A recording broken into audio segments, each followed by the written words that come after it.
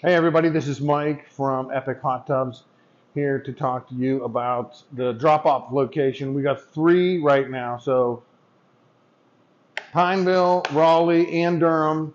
You'll see the box U.S. Marine Corps Reserve and Toys for Tot. Bring your toy in.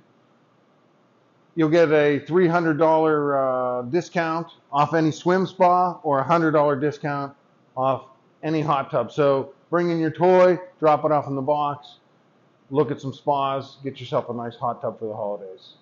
Thank you.